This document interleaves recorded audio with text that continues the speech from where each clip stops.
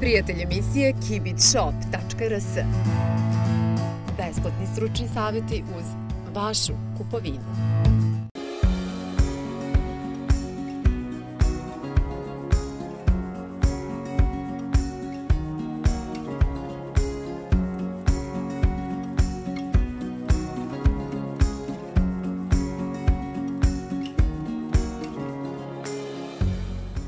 Smo da vam razjasnimo sve nedoumice, da vam pomognemo i da vas ohrabrimo kako biste uživali u periodu trudnoće kada beba stigne i u njenom odrastanju. Mamin san će vas voditi kroz priče o roditeljstvu. Ja sam Danka Todorović, majka i babica. Pošto je poznato da bebe vole da se nose i da budu u majčinoj blizini, pitanje je kako da one uživaju, a da mame mogu da obave i neke od kućnih poslova. Oni bukvalno mogu da se nose dokle mama može da izdrži. E, to može da bude i 20 kila ako imate tako veliko dete ili e, neke mame čak nose tandem, znači jedno dete napred, jedno nazad u jednoj marami tkanoj.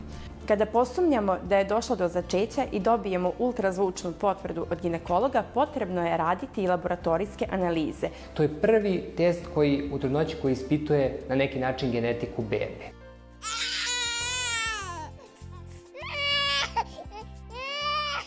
Sve ono što im ne odgovara, oni saopštavaju plačem. Temperaturu čitate jednostavnim podizanjem bebine ruke, pogledate i pročitate temperaturu u svakom trenutku. Ja sam Nina, imam 14 meseci. Od petog meseca idem na plivanje i obožavam vodu. Recimo imali smo najmlađu bebu 31 dan, pa do četvrte godine. Kad porastem sigurno će biti veliki šampion.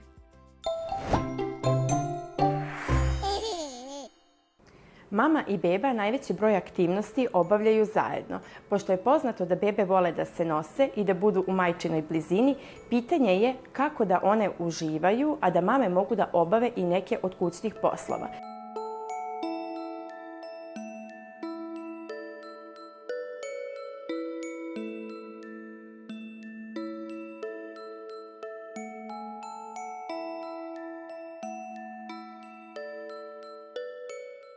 Da kažem odmah da se ljudi ne uplaše, elastične tkane marame su dosta dugačke. One uh, elastične su negde oko 5 metara, dok su tkane u zavisnosti od veličine između 3,5, 4,5, 5 metara dugačke. Uh, zbog svoje dužine na sredini marame nalazi se jedna etiketica koja nam je oznaka da je tu sredina i od nje uvek počinjemo. I ta sredina će nam biti na sredini grudi. Stavljamo maramu na sredinu grudi i na leđima ja ću se sad okrenuti. Nadam se da će to sve biti u redu. E, tu ukrštamo na leđima, trudimo se da se taj materijal ne uvrne i vidjet ćete sad da to stvarno nije ništa komplikovano. Stavljamo maramu gore na ramena.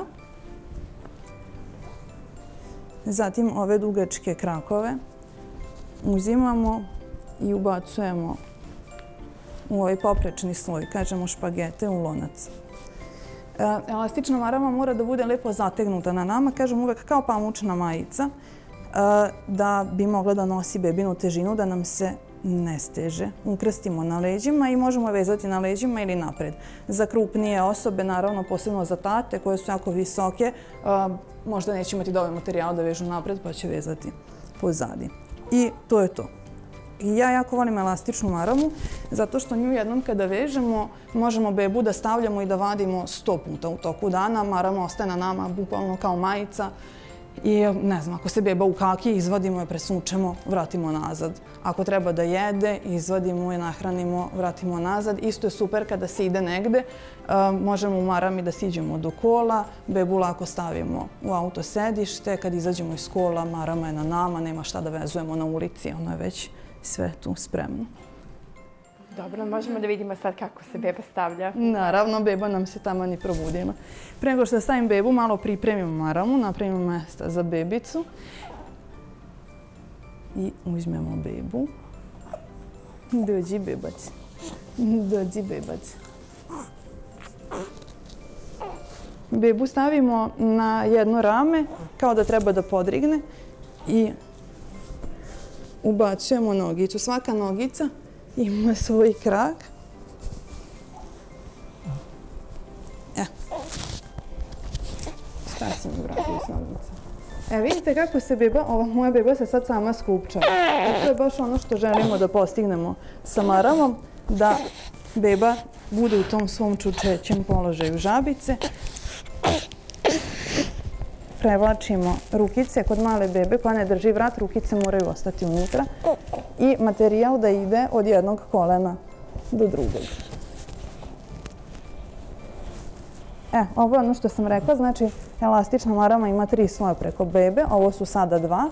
Svaki sloj ide od jedne jamice kolena do druge jamice kolena i ukrštaju se na bebinom vratu. Gde nam je treći sloj? To je ovaj poprečni na kom je etiketica. Takođe ide do bebinog vrata od kolena do kolena. Kada posumnjamo da je došlo do začeća i dobijemo ultrazvučnu potvrdu od ginekologa, potrebno je raditi i laboratorijske analize. Kojom dinamikom i kada se one rade u trudnoći vidjet ćete u sledećem prilogu. Koje se analize rade na početku trudnoće? Krvna slika, nešto osnovne biohemije, gde spada i glukoza koja je obavezna, rade se belančevine iz urina, analize urina, torč test koji je jako bitan, krvna grupa i RH faktor se određuje na toj prvoj poseti ono što bih ja posebno naglasio jeste TSH hormon. Zašto se određuje krvna grupa i RH faktor? Mi posebnu pažnju obraćamo ka trudnicama koje su rezus negativne. Zbog čega je to tako? Ukoliko je otac deteta rezus pozitivan, taj rezus faktor se genetski nasleđuje i može da se dogodi da dete bude pozitivno, da rezus pozitivno majka je opet negativna. Nekad spontano dolazi do prolaska krvi bebe u krv majke, gde majčin organizam ne prepoznaje taj D-antigen i počinje da stvara odbranu, to je senzibilizuje se i stvara ta antitijela protiv eritrocita bebe. To u prvoj trudnoći nije toliko opasno koliko je opasno u svakoj narednoj. Postoji velika vjerojatnoća ako je beba bila pozitivna u prvoj trudnoći, ako je imala rezus, rezus pozitivna, da će biti opet rezus pozitivna, a majčin organizam je već iz prethodne trudnoće zapamtio kako se stvara ta odbrana, već je stvorio određenu odbranu, tako da je ta reakcija multiplicirana i mnogo je burnija i može da dođe do ozbiljnih posledica u narednim trudnoćama. Test nivoa glukoze u krvi. Prati se sumnja na gestacijski diabetes koji se često javlja u trudnoćama taj, ta glukoza može da indikuje rađenje oralnog glukoza tolerance testa. Sada, da bismo diagnostifikovali diabetes, vrednost glukoze nakon 12-časovnog gladovanja treba da bude preko 7 u dva uzastopna uzorka ili preko 11,1 u bilo kojem trenutku kada uzorkujemo krv. Kada se radi double test, Vreme koje je rezervisano za double test je od 11. do 13. nedelje i 6 dana.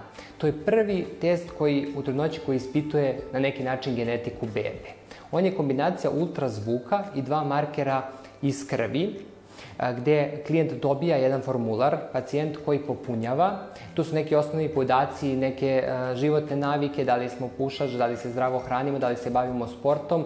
Tu je težina naša, visina, još neke udružene bolesti. To je jedan deo formulara, a drugi deo formulara je, se prepisuje sa ultrazvuka, neki parametri koje je naš lekar izmerio. Između ostalog, tu bih izdvojio NT, nuhalnu translucencu, nuhalni nabor, to je nakupnina limfe na zadnjem delu vrata. To je jako bitan podatak lekarima. Bitno je da ta nakupnina limfe bude ispod 3 mm.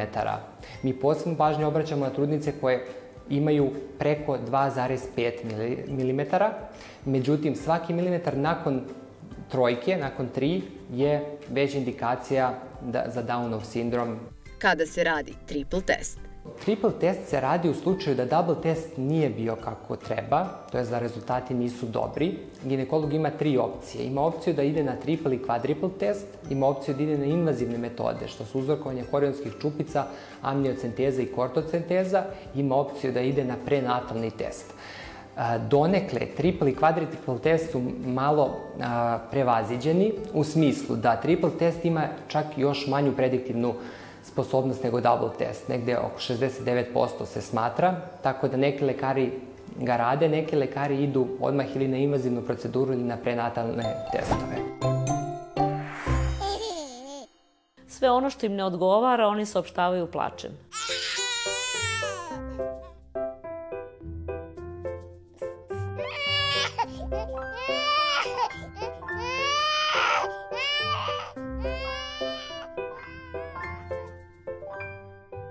Deca plaču različito, neka deca plaču više, neka ne plaču uopšte, znači ne može da se podvede ni pod kakvu statistiku, pa imate i više deca u istoj porodici od istih roditelja koji rastu u istim uslovima, sa istom genetikom, koje se potpuno različito ponašaju.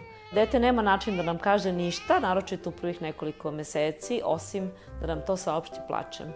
Roditelji koji su zainteresovani vrlo brzo nauče da raspoznaju vrste plača i da negde reaguju na pravi način. U prvih nekoliko meseci najčešće plaču kad su gladne, e, zato što je to njihova osnovna po, ovaj, potreba.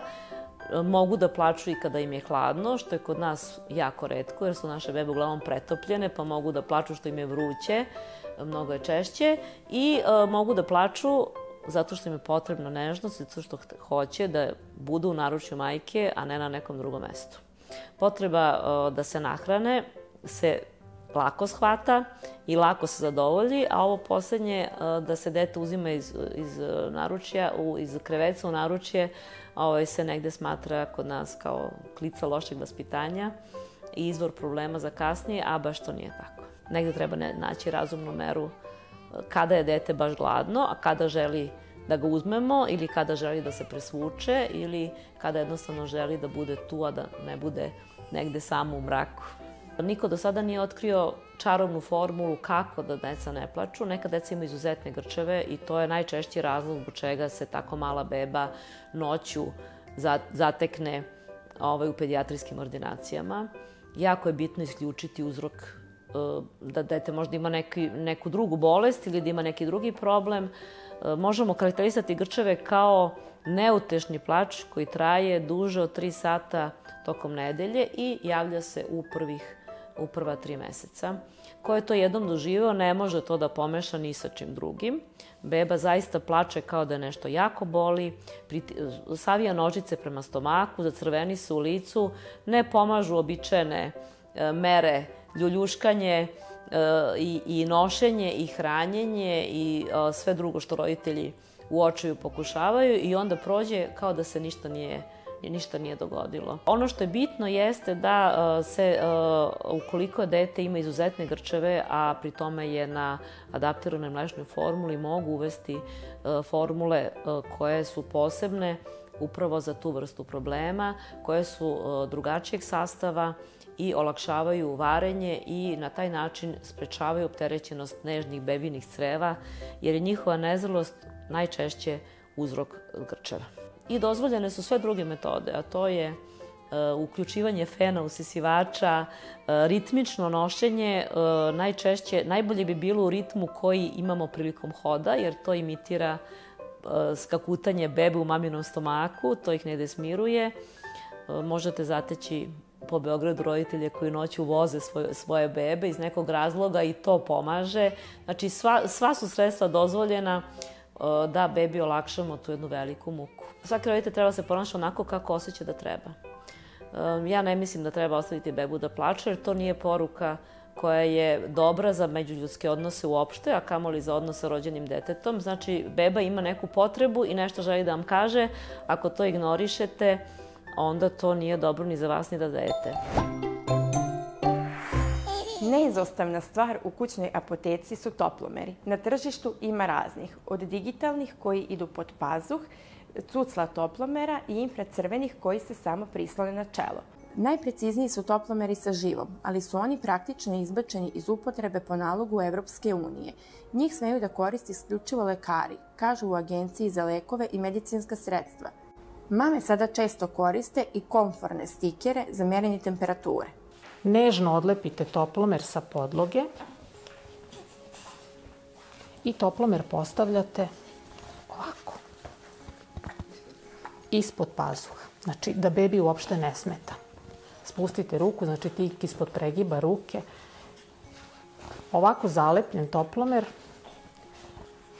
krene da očitava temperaturu nakon 3 minuta i stoji na bebi 48 sati.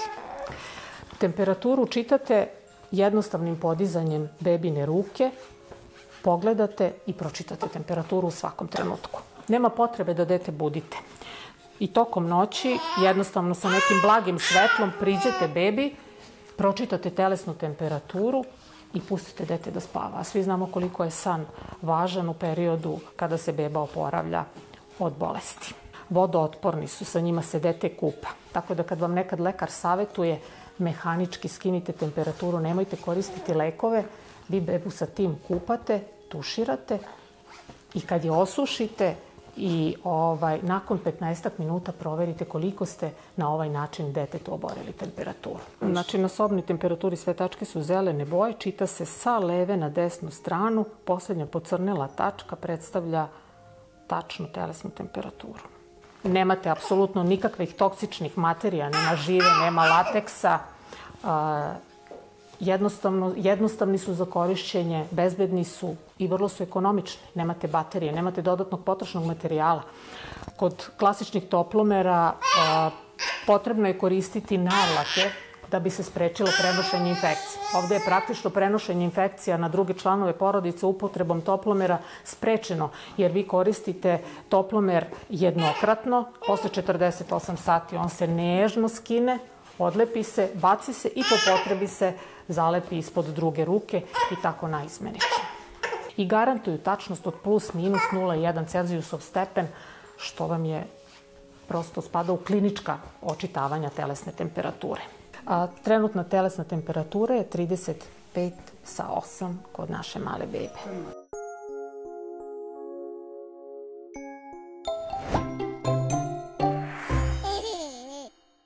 Sunce je ljudima od životne važnosti, jer učestvuje u mnogim procesima u telu, kao što je sinteza vitamina D, koji pomaže u jačanju kostiju i mišića. Međutim, za decu do treće godine života nikako se ne preporučuje direktno izlaganje suncu. Koža odojčadi je jako osetljiva, bogata je zalihom matičnih ćelija koja je dragocena, ali i vrlo ranjiva – odbrambeni mehanizam kože najmlađih nije dovoljno razvijen. Ipak, ako ste prinuđeni da bebu vodite na sunčana mesta, preduzmite sve mere zaštite.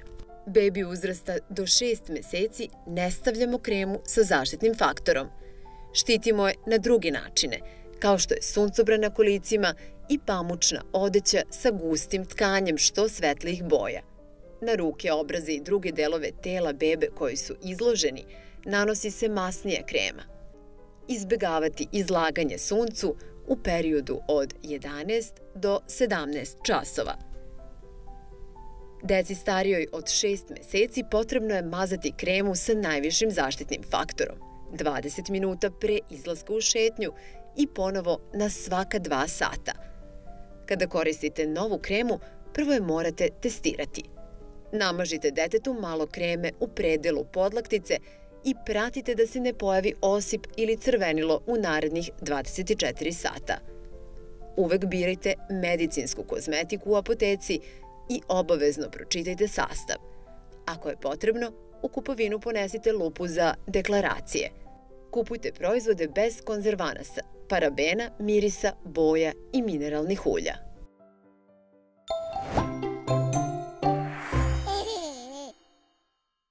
Jedan od urođenih refleksa kada se beba rodi je plivanje. Sećanje na plivanje u maminom stomaku bebe zadržavaju do prve godine. Do tada bilo bi dobro da se upoznaju sa vodom. U svetu se praktikuje plivanje za bebe. A mi ne zaostajemo. Bili smo na jednom času i videli naše male plivačke talente i buduće zvezde.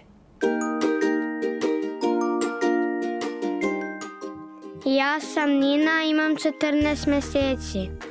Od petog meseca idem na plivanje i obožavam vodu. Uvek dolazim sa mamom i tatom.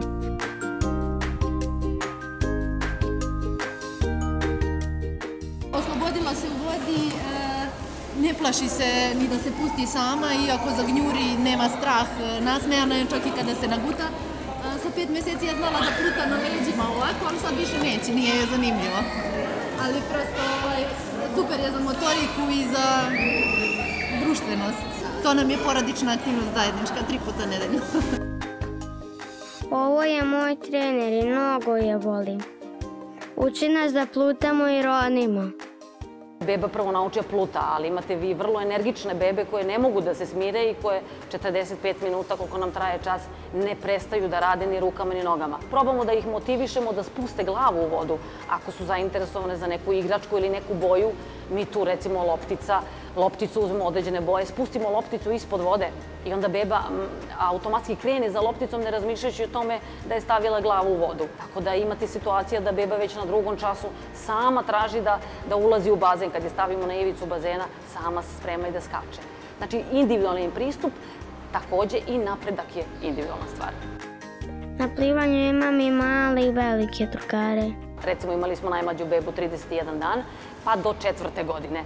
I sad to je dosta velika razlika, ali imate da beba nekada od godinu dana zna više nego dete od tri godine. Ja sam deda ovoj dvojici junaka ovde neplivača. Evo, trudimo se ovaj, da ih naučimo da plivamo.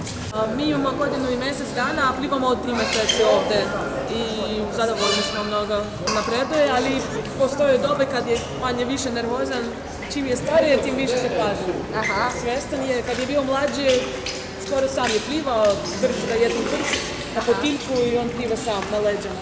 Opušta se lagano u vodu, znači ovo više zbog njegovog zdravlja i razvoja, znači, ali naravno usput uh, uči neke elemente tehnike plivanja.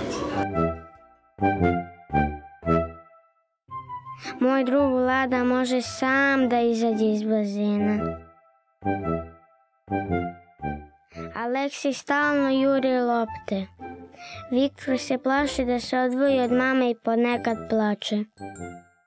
Kadica u kojoj se beba kupa je daleko manja od bazena koji mi ovde imamo i moraju da se naviknu i na galamu, to bude puno dece. Znači oni su navikli na svoje roditelje, na mir, na svoju kadicu. Znači sve su to uh, uslovi, odnosno razlozi zbog kojih beba može plakati. Drugo, ako ste bebu neposredno pred plivanje probudili, i to može biti razlog zašto će da plače. Pa kada rastu zubi, samo je bitno da roditelj ne pomisli kako beba ne voli vodu zato što plače. To je možda poslednji razlog zašto, treba, zašto ne treba dovesti bebu na, na bazen. Moram da vam otkrijem, jedna mama nije znala da pliva. Imali smo situaciju da je dete iz zdravstvenih razloga moralo da dođe na plivanje i moje slučajno pitanje, s obzirom da sam videla uplašenu mamu, e, bilo je da li ona zna da pliva, ona je rekla da ne zna. Tako da sam ja priskočila u pomoć u takvoj e, situaciji, da taj čas odradim sa bebom. Mama je upućena na obuku plivanja za odrasle, da bi koliko toliko savladala tu veštinu, da može prosto detetu da pomogne na njegovom programu. Trener kaže da je lakše naučiti plivanje kad si mali. Bebe mogu da krenu na plivanje već sa mesec dana, jer do petog meseca imaju taj refleks da ne gutaju vodu ako ih spustite ovaj, ispod vode, tako da čim otpadne pupak, mogu da krenu bez bojazni ovaj, da će im se nešto loše dogoditi. Pre bazena ja sam malo vežbala u kadi. Da bi se malo beba navikla na bazen, roditelji mogu kući kada se beba kupa da je stave u kadicu, sipaju dovoljno vode, ali ne previše, da bude beba uvek na oku roditeljima, da joj stave neke igračke i da mogu i tu da iniciraju duvanje u vodu.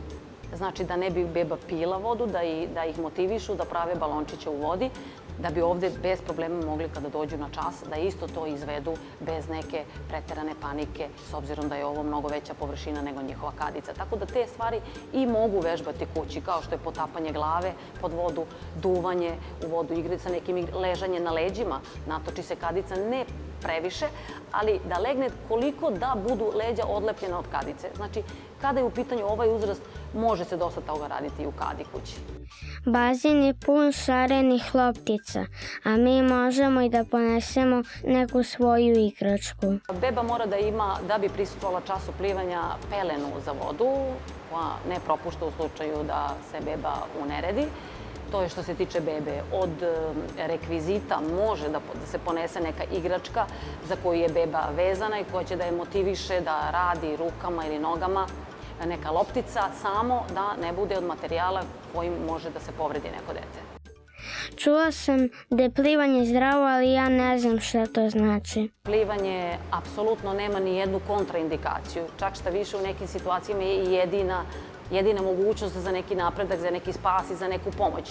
Pogotovo kada pričamo o nekim uh, poremećajima malo težim, kada su u pitanju cerebralne paralize, kada je u pitanju autizam, uh, hipotonije i hipertonije koje su danas zastupljene u velikom procentu se rešavaju 100%. Apsolutno bebe će bolje spavati, jesti, bolje se razvija razvijaju jačanje imuniteta i tekako se postiže dolaskom u zimskom periodu.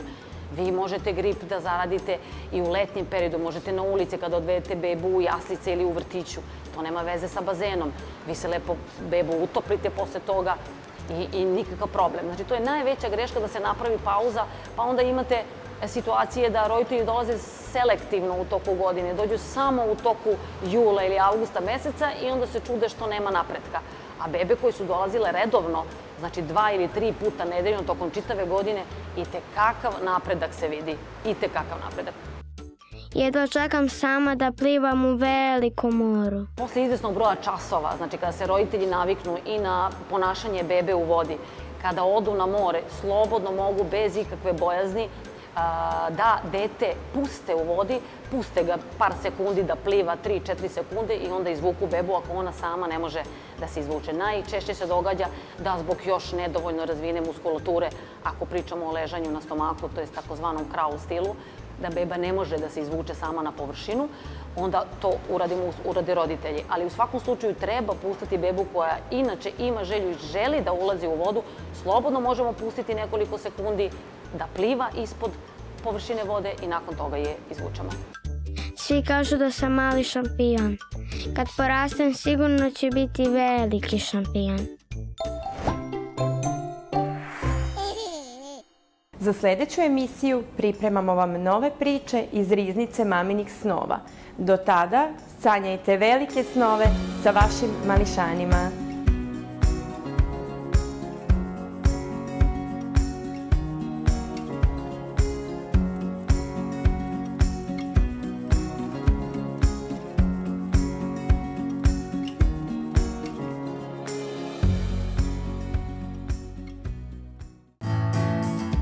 Prijatelj emisije kibitshop.rs Besplatni stručni savjeti uz vašu kupovinu.